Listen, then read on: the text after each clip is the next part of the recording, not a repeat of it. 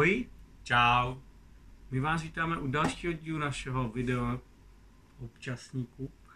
A dneska tady máme plišovou hlídku, což je novinka od Mindoku.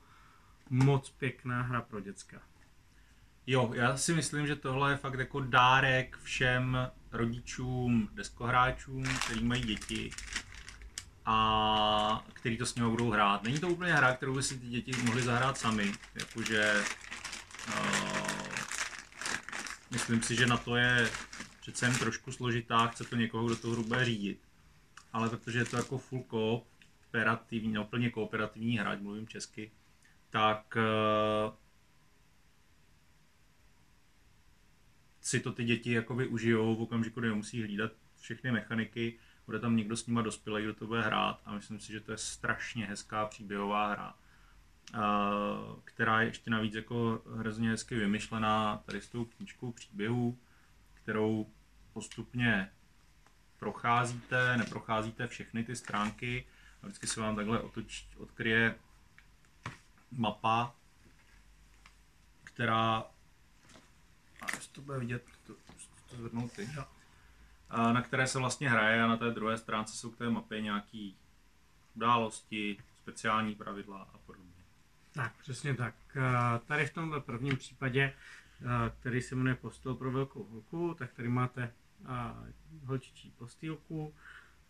No a jedné noci se do toho pokoje připlíží tedy ti plížáci a, a holčička má svoje plišáky na to, aby oni ochraňovali. Za ty plišáky právě hrajete vy a snažíte si ty plížáky a další potvory porazit, procházíte vlastně ten příběh. Využívají se tam kostky poměrně, poměrně intenzivně, jak na boj, tak na provádění dalších akcí. Kostek je tu poměrně dost, stejně tak těch figurek je tu poměrně dost a, a jsou ve velmi pěkné kvalitě. Jo. Stáli by samozřejmě za to nabarvit, ale já nebarvím a Iron taky ne. Mm, mm, mm. Jsme na to nešikovní a nemáme na to trpělivost a čas. Uh, každopádně ten příběh mě jako strašně baví, je, je hezký, je citlivý a je to je opravdu z takového jako dětského světa. Jo, ne, nečekejte to žádný descent.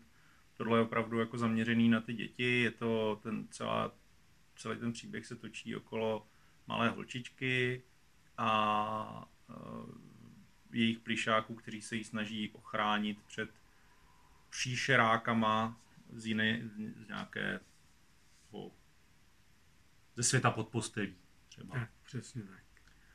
A jsou tam docela dlouhý uh, příběhový pasáže, kdy vyloženě dětem prostě čtete a do toho je tam prostě nějaká hra, ale není to jenom o nějakým bodování, eh, i když tam jsou velmi vtipný zbraně, jako, jako co, co tam, tam máš, jako střeleckou zbraň máš třeba gumičky, vystřeluješ a tušku a, a tak.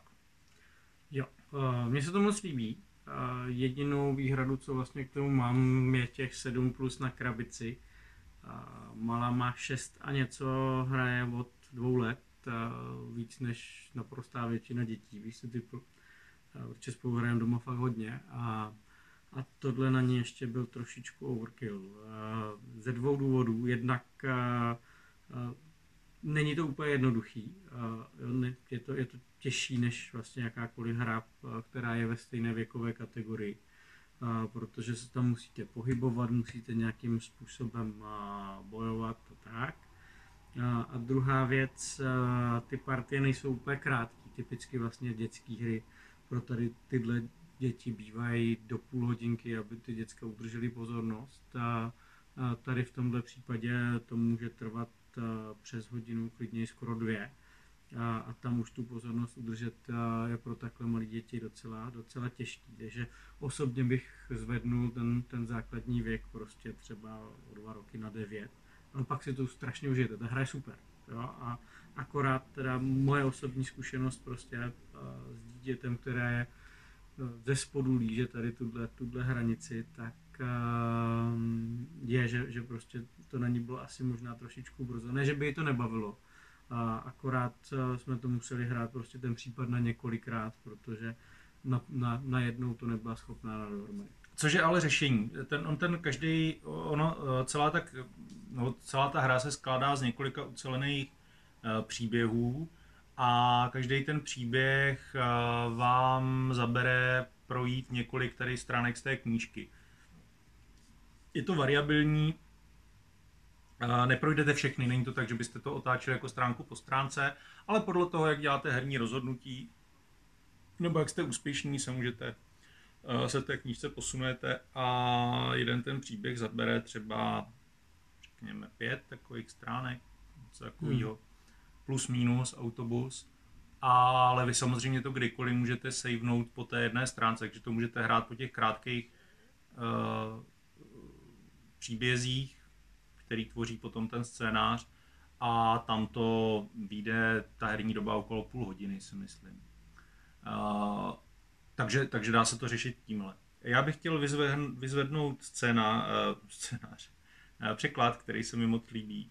Je to napsaný fakt hezky, rostomilé, uh, dětsky a, a myslím, že se to celý povedlo. Jo, ta, já jsem z té hry úplně nadšený a uh, až mě jako mrzí, že, že nejsem jako už, už ta cílovka pro tuhle hru. Uh, na druhou stranu pokud se vám tohle líbí, mrkněte na hru, která se jmenuje Commonouts, a která vyšla teda anglicky nedávno, relativně. Česky se ještě neví, jestli bude.